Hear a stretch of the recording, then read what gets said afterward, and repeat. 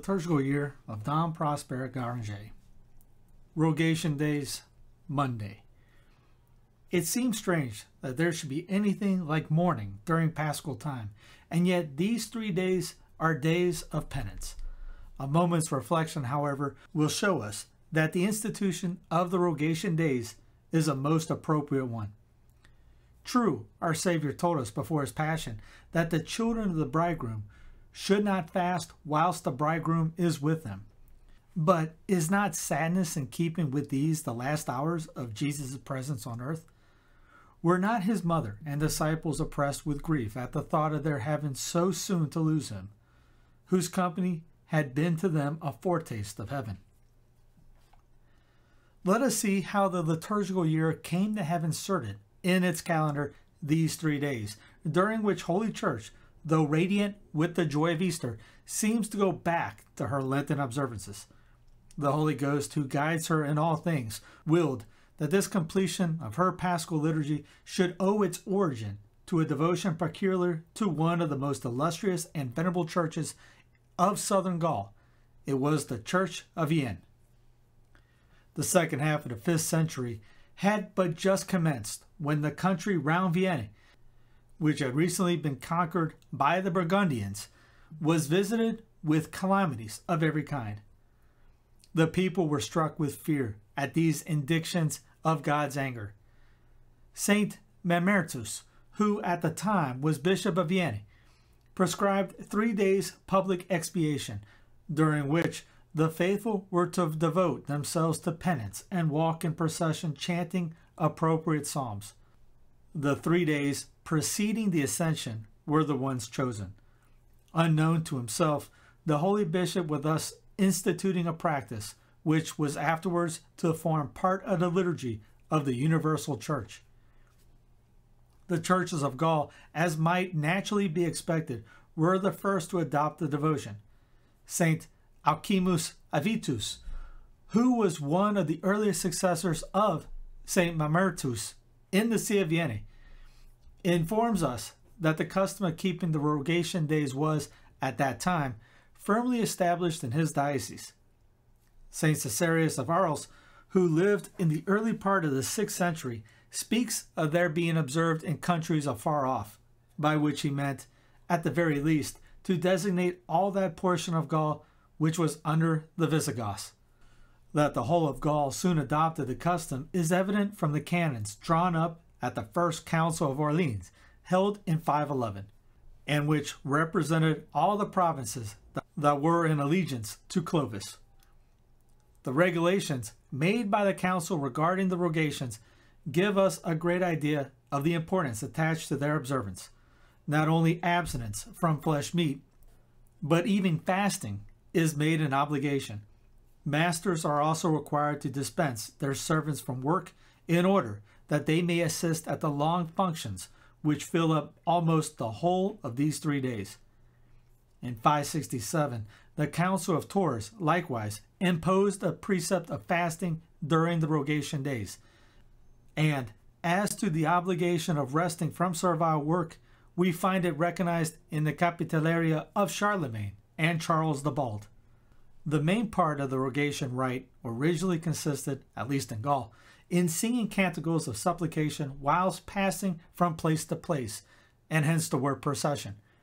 We learn from St. Caesarius of Arles that each day's procession lasted six hours, and that when the clergy became tired, the women took up the chanting.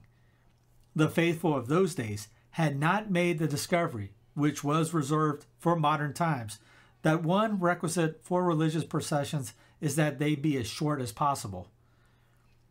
The procession for the rogation days was preceded by the faithful receiving the ashes upon their heads, as now at the beginning of Lent.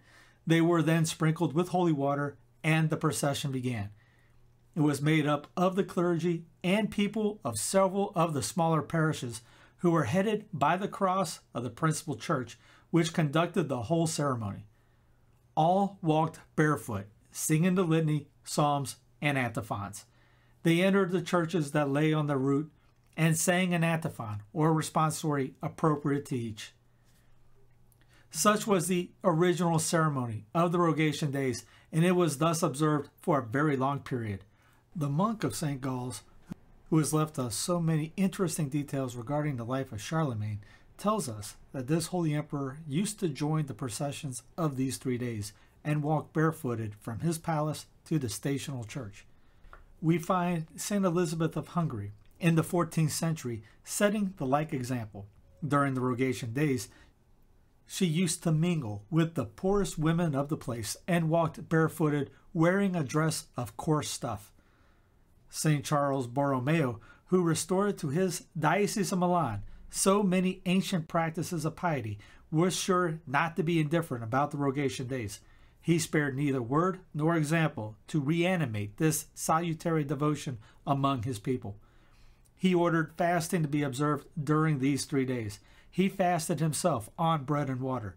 The procession in which all the clergy of the city were obliged to join and which began after the sprinkling of ashes started from the cathedral at an early hour in the morning and was not over till three or four o'clock in the afternoon. Thirteen churches were visited on the Monday, nine on the Tuesday, and 11 on the Wednesday. The saintly archbishop celebrated Mass and preached in one of these churches. If we compare the indifference shown by the Catholics of the present age for the Rogation days with the devotion wherewith our ancestors kept them, we cannot but acknowledge that there is a great falling off in faith and piety. Knowing as we do the importance attached to these processions by the church, we cannot help wondering how it is that there are so few among the faithful who assist at them. Our surprise increased when we find persons preferring their own private devotions to these public prayers of the church, which, to say nothing of the result of good example, merit far greater graces than any exercises of our own fancying. The whole Western Church soon adopted the Rogation Days. They were introduced into England at an earlier period, so likewise into Spain and Germany. Rome herself sanctioned them by her own observing them. This she did in the 8th century, during the pontificate of St. Leo III. She gave them the name of the Lesser Litanies, in contradistinction to the procession of the 25th of April, which she calls the Greater Litanies. With regard to the fast, which the churches of Gaul observed during the Rogation days, Rome did not adopt that part of the institution. Fasting seemed to her to throw a gloom over the joyous forty days, which our risen Jesus grants to his disciples. She therefore enjoined only abstinence from flesh meat during the Rogation days.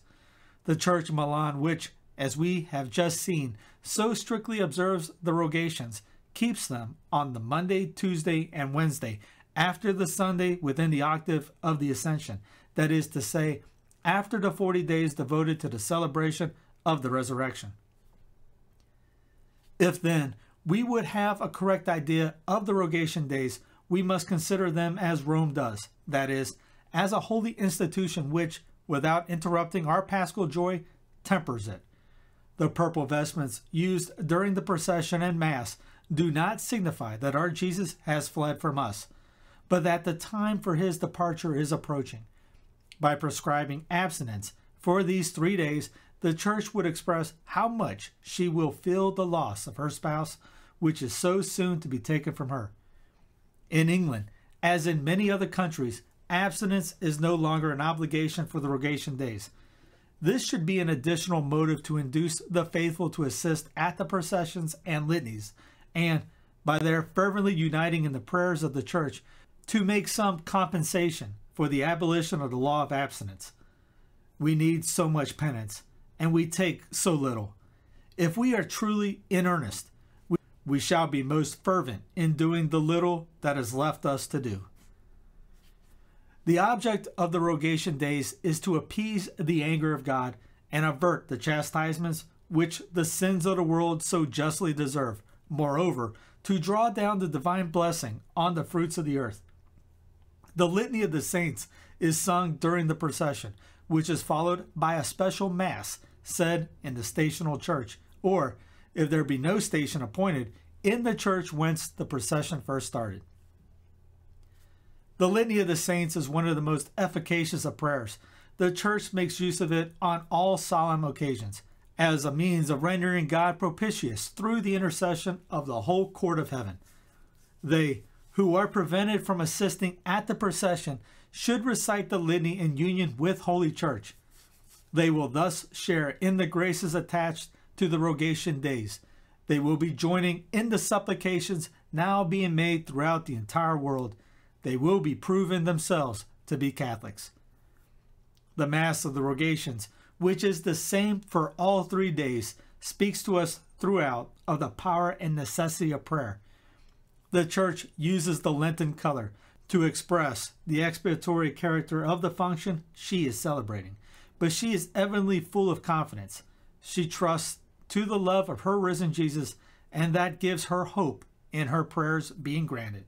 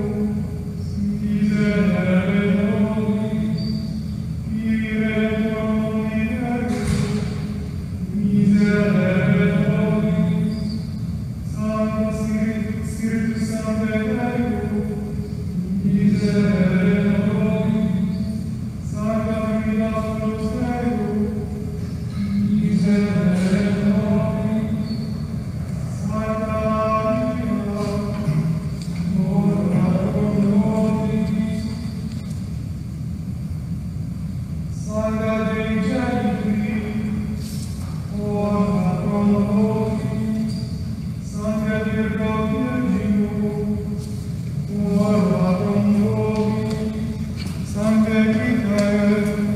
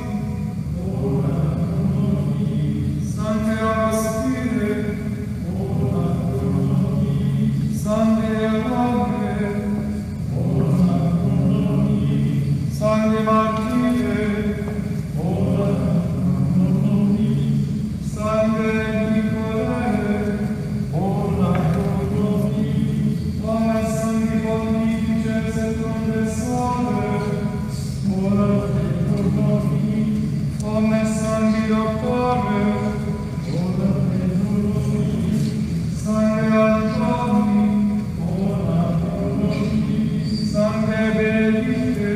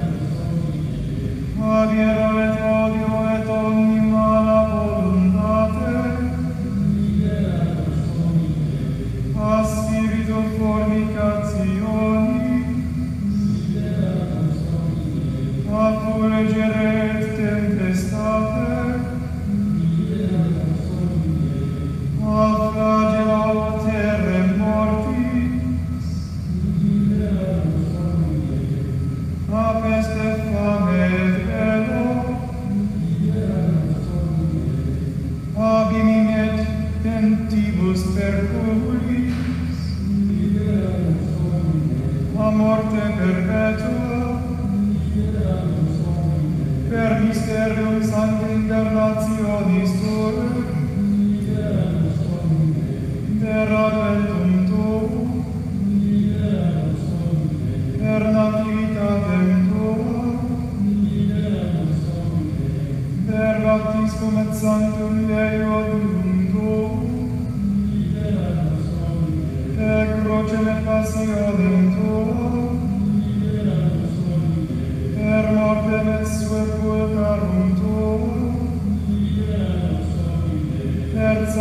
resurrexio de cor, per admirabile ascensione tua, per argentum Spiritus Sancti Paraclet,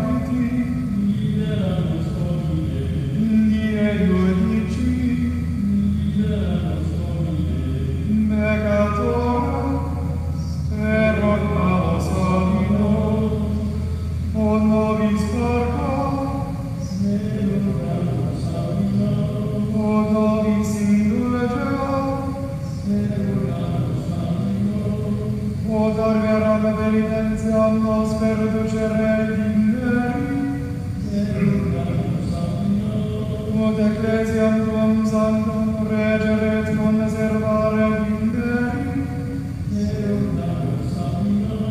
O Domnum apostolicum et omnes ecclesiasticos ordinem, in sancta religione conservare viveri, eum.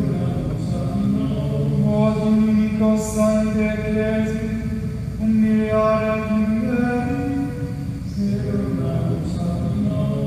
credeos ut principibus Christianis, pacem et veram concordiam donare digneri, quod cunga populo Christianum, pacem et unitate unare fieri digneri, quod omne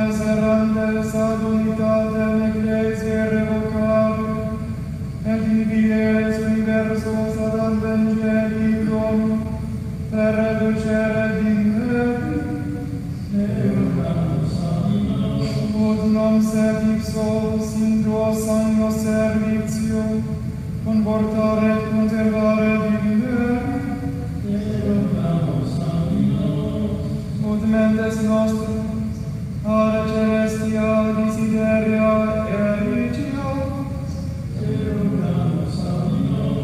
Ut omnibus benefactoribus nostri, senditer labora retribuos, erudamus ad nos. Ut animas redent nostras, fratrum et propinquorum et benefactorum nostrum, ad ad eterna damnatione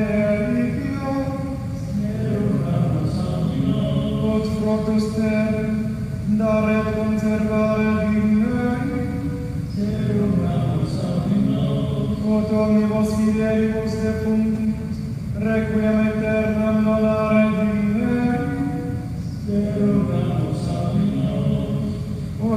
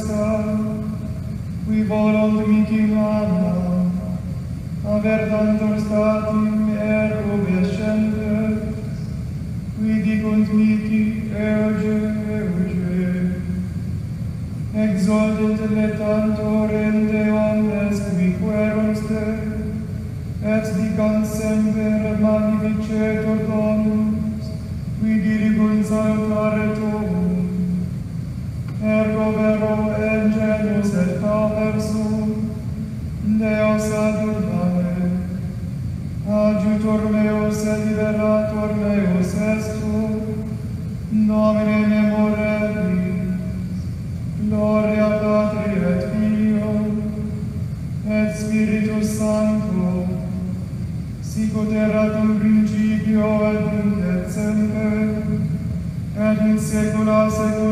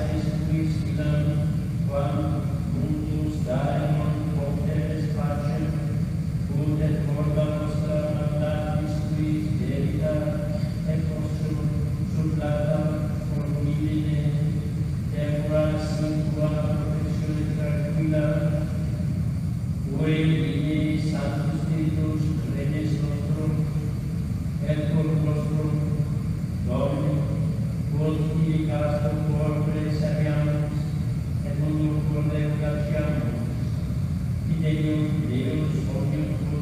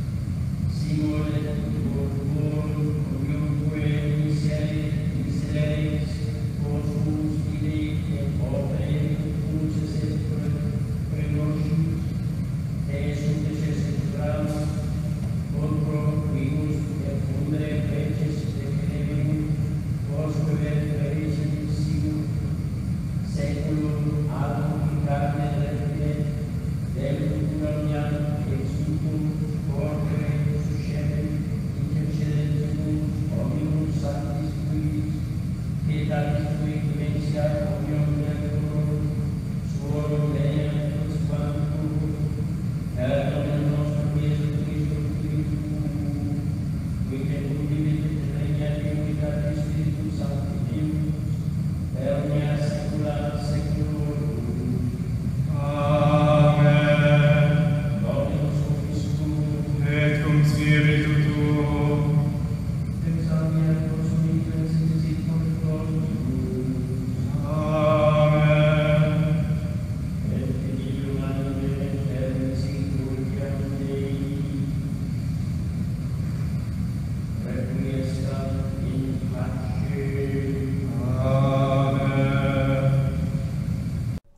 Mass of the Rogation Days.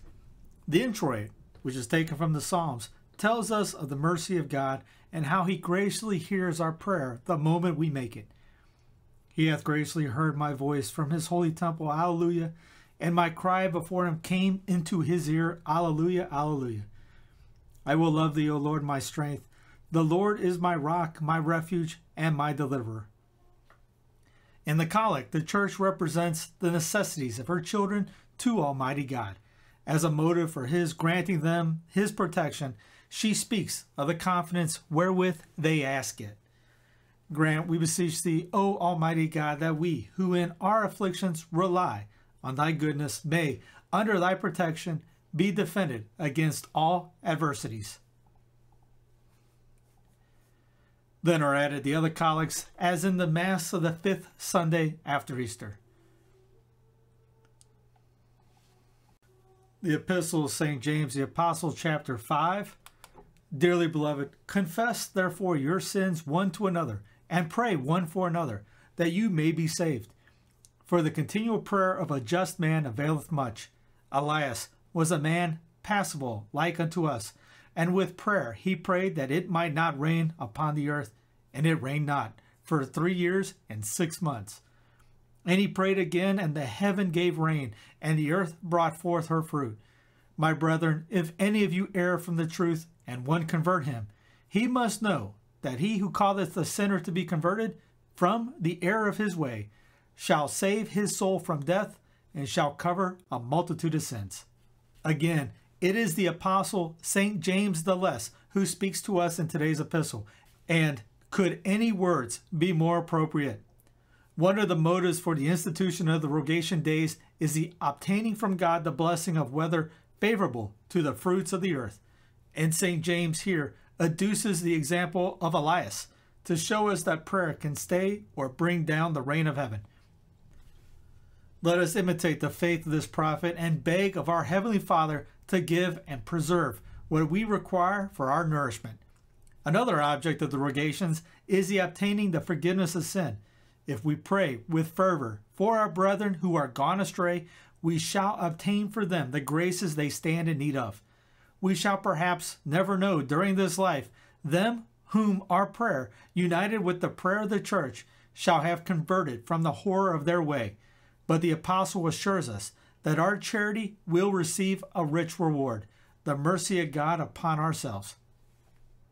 In order to better to express mourning and compunction in the Mass of the Rogation Days, the Church not only uses purple vestments, she also retrenches somewhat of the joy of her canticles. She allows herself but one Alleluia versicle, but it is full of hope in the goodness of her Lord. Praise the Lord, for he is good and his mercy endureth forever. The Gospels, Luke chapter 11. At that time, Jesus said to his disciples, Which of you shall have a friend, and shall go to him at midnight, and shall say to him, Friend, lend me three loaves, because a friend of mine has come off his journey to me, and I have not what to set before him. And he from within should answer and say, Trouble me not, the door is now shut, and my children are with me in bed. I cannot rise and give thee. Yet, if he shall continue knocking, I say to you, although he will not rise and give him because he is his friend, yet because of his importunity he will rise and give him as many as he needeth. And I say to you, ask, and it shall be given you. Seek, and you shall find. Knock, and it shall be opened to you. For every one that asks receiveth, and he that seeketh findeth. And to him that knocketh it shall be opened. And which of you, if he ask his father bread, will he give him a stone? Or a fish, will he for a fish give him a serpent? Or if he shall ask an egg, will he reach him a scorpion? If you then, being evil, know how to give good gifts to your children, how much more will your Father from heaven give the good Spirit to them that ask him? Could anything show us the all powerfulness of prayer more clearly than these words of our gospel. By this putting them before us, Holy Church shows us the importance of the rogation days, since it is during them that she shows us the efficacy of supplication, which triumphs over the refusal of God Himself. The reader, who has followed us thus far in our work, must have observed how the passages of Holy Writ selected by the liturgy form a continued series of instruction appropriate to each day. During these three days, we are laboring to appease the anger of heaven. Could there be more fitting occasion for our being told that God cannot resist preserving prayer? The litanies we have been chanting in our procession are a model of this holy obstinacy, or, as our gospel terms it, this importunity of prayer. How often did we not repeat the same words? Lord, have mercy on us. Deliver us, O Lord. We beseech thee, hear us. The divine paschal lamb, who is about to be offered on our altar, will mediate for us. A few moments hence, and he will unite and join his ever efficacious intercession with our poor prayers. With such a pledge as this, we shall leave the holy place feeling sure that these prayers have not been made in vain. Let us therefore make a resolution to keep aloof no longer from the holy practices of the Church. Let us always prefer to pray with her than to pray by ourselves. She is the spouse of Jesus. She is our common mother, and she always wishes us to take part with her in the prayers she offers up. Besides, is it not for us that she makes these prayers? The offertory is taken from the Psalms. It gives praises to God who, notwithstanding our being poor sinners, permits himself to be overcome by our prayers, rises in our defense, and gives us all we stand in need of. I will give great thanks to the Lord with my mouth, and in the midst of many I will praise him, because he has stood in the right hand of the poor to save my soul from persecutors. Alleluia. The bonds of sin enchained us, and of ourselves, we could not have returned to our Creator, but the Paschal Lamb has restored us our liberty.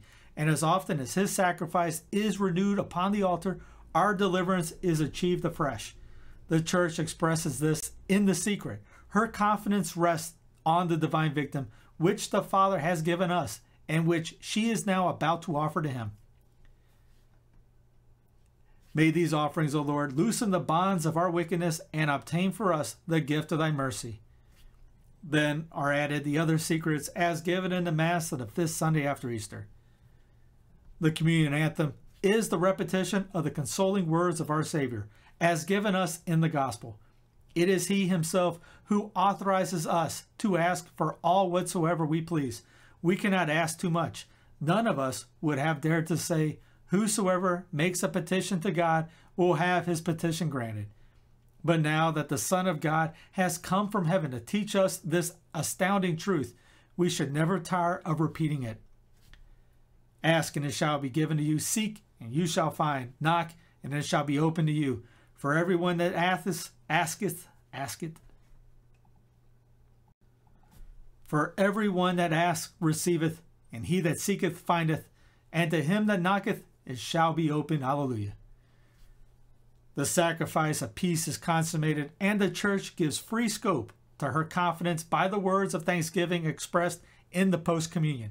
The sacred gifts have brought us consolation, and our Holy Mother prays that consolation may prompt us to warmer love.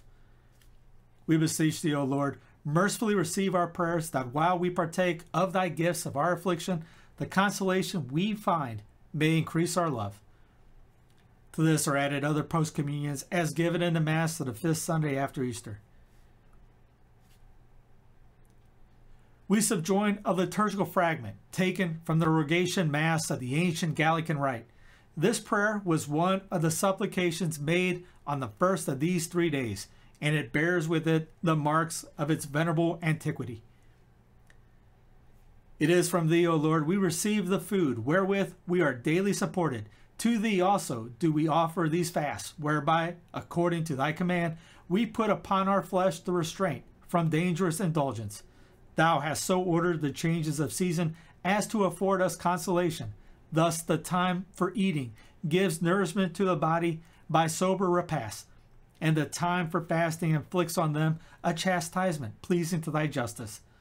Vouchsafe to bless and receive this our offering of a three days penitential fast and mercifully grant that while our bodies abstain from gratification, that while our bodies abstain from gratification, our souls also may rest from sin. Through Christ our Lord. Amen.